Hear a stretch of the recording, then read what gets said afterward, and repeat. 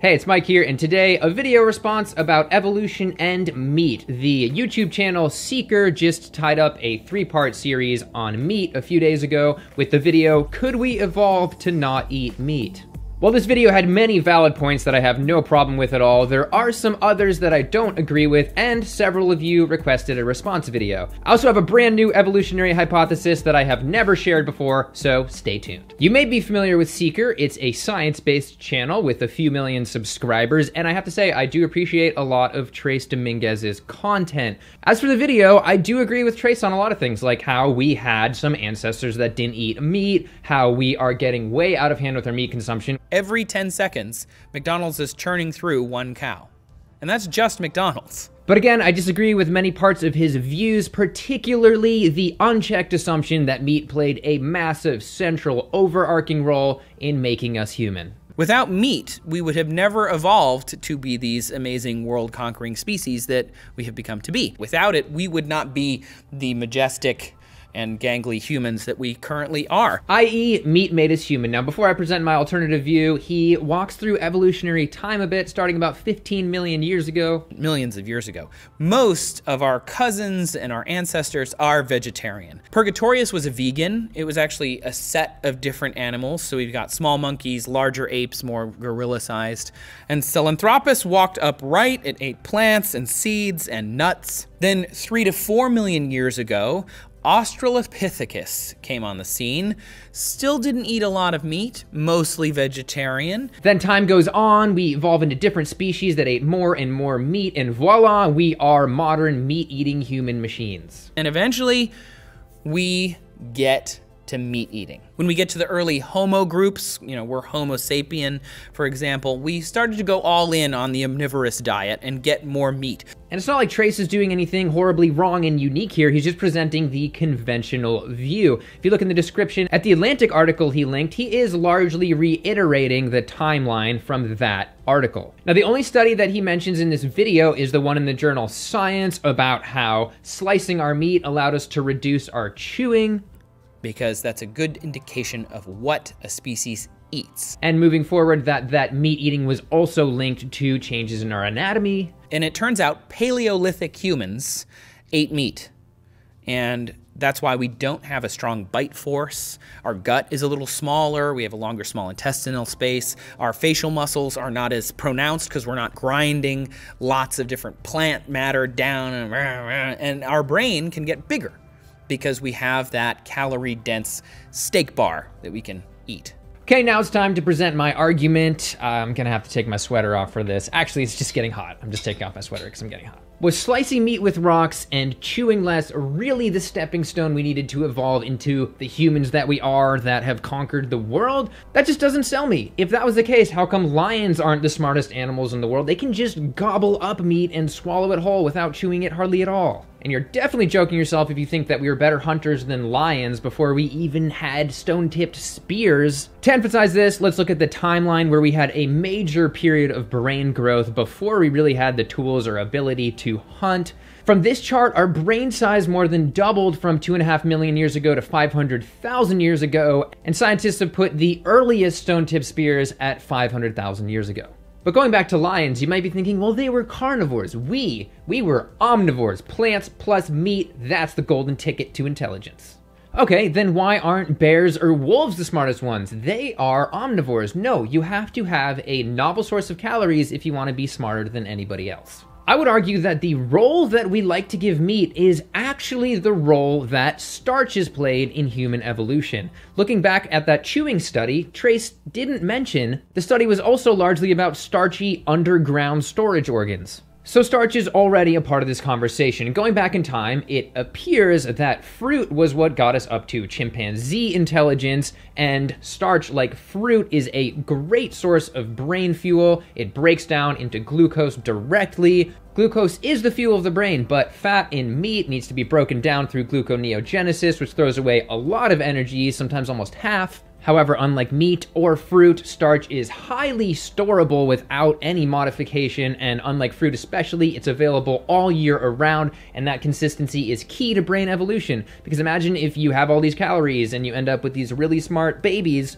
but then you can't feed them, you end up with really smart dead babies. So when Trace says, and we know all this by the size and shape of the guts that we find. It's really that we can guess what we ate, and that likely it was just less raw foliage requiring a smaller digestive system. Well, many people like to look at that and say it was meat that shrank our digestive system, it very well could be starch because starch involves a smaller digestive system. You don't need to have the large jaws to eat it. The majority of starch is digested by our pancreatic amylase, while some of it is from our salivary amylase, and therefore you don't need that super long colon to take care of starch. And these aren't my ideas, they aren't just the ideas of a ranting vegan dude on YouTube. I got these ideas from a variety of anthropologists like Dartmouth anthropology professor Nathaniel Dominy. So, because there's not a very strong match between meat consumption and increasing gradual increases in brain size, scientists have looked to other options. And given that plant foods are such an important part of modern humans that hunt and gather foods, um, the money is on plant foods and a shift in the kinds of plant foods as being the major driving factor in, in increasing brain size. A mix of plant foods with a large amount of starch coming from tubers and seeds.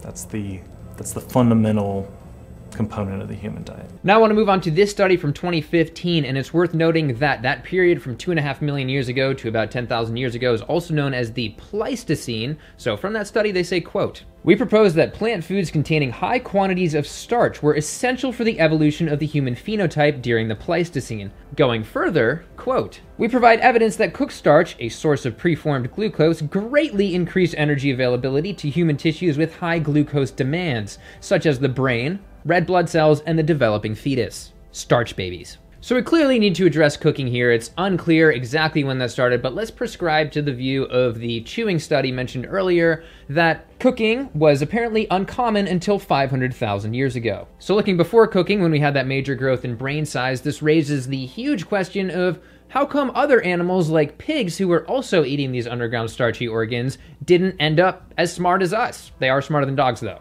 worth noting. To answer this, I want to present my completely new, never before disclosed theory of evolution, which I call the starch runner hypothesis. This is my explanation for how we evolved into the best long distance runners on planet Earth while simultaneously becoming the most intelligent creature, at least by our anthropocentric standards. In other words, how we became the majestic and gangly humans that we currently are. Those of you that have read Born to Run already know of our running ability. He highlights the Tarahumara tribe of Mexico, in which members have been recorded running 200 miles in one go, and our entire body has evolved to do this. Everything from our gangliness that Trace was talking about to our weird, springy club feet, our upright posture, our bare skin, and so on. That is all a result of long distance running evolution. But what drove that evolution? Going back two and a half million years ago, the forests started drying up a bit into plains, and that is our evolutionary stage. So as we evolved more lanky gangliness, we leaned out and got springier ankles that recovered more energy. We were able to cover more and more distance. With more distance meant more access to more plant calories in the form of reserves of underground storage, organs, or perhaps a grove of date palms, all of those foods we find in the fossilized dental plaques of our ancestors. Here's a map that illustrates the math. You have patches of major reserves of plant calories, maybe 100,000 there, 50,000 there. Let's say by running from patch to patch, you can access an average of 500 plant calories per mile ran. That would just be an average. If you can run 100 miles in a day, which modern humans can, that gives you access to way more calories than if you were only able to run, say, 15 miles. That's 50,000 versus 7,500 calories. Minus the 100 or so calories we might burn per mile, and yes, starch is a way better running fuel than meat. It's carb loading, not meat loading, and it makes sense why we're such good slow runners because plants can't outrun us. So you can imagine an ancient tribe of humans that would send out a few scouts and would be able to cover hundreds of miles and then they could just migrate accordingly to the food source. But since I mentioned Born to Run, I have to mention the idea of persistence hunting and why I don't think that is how we got our calories during this time before we could hunt. Persistence hunting is when you just chase an animal for so long that they become exhausted and collapse. And my argument against it is that you can't outrun an animal until you've evolved to be able to outrun an animal. It's a paradox. However, with plants, the further you run, the more of a reward you get, and it slowly builds up and forces us to evolve into the best long distance running animals on Earth. And then we eventually harnessed fire, and that allows us to extract about 20% more calories from starch. So, yeah, you can only get about 80% of the calories from raw oatmeal that you can get from cooked oatmeal, for example. And no, I'm not completely denying that we ate meat. I'm not that off my rocker as a vegan. I know that meat played a role. I just think it's way smaller and probably comparable to something like nuts. Starch was the ticket. Okay, let's move on to Trace's comments about B12.